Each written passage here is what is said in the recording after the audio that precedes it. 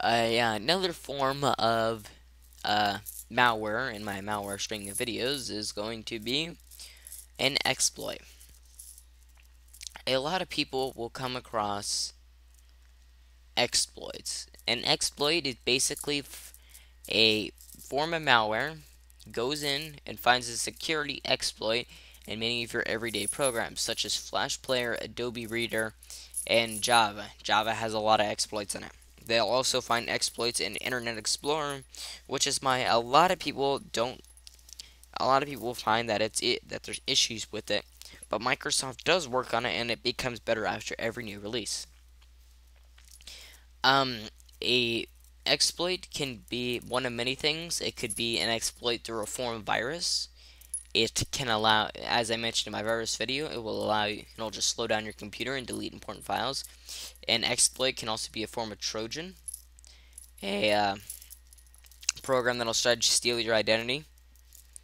A keylogger, well, keylogger's not that common. They don't generally hide in the form of exploits.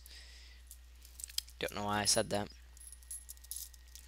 Um, to get an exploit, um, to remove exploits is pay attention to software updates.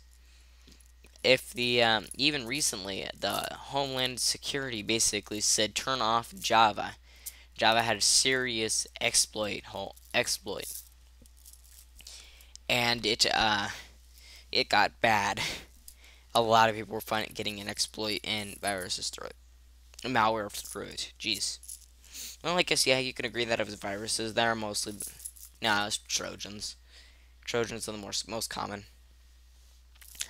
Um, easy way to prevent it, get an antivirus, have a firewall. A multi, multi-way firewall can help.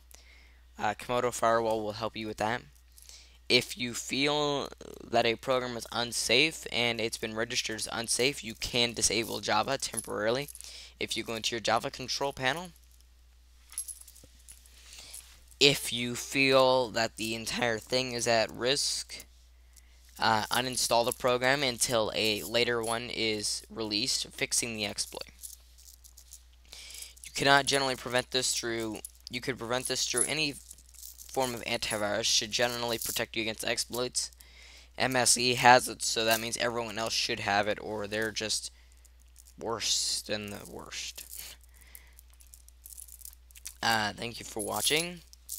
Stay tuned for more videos and another explanation coming up about uh, a black, another form of exploit known as the black hole exploit.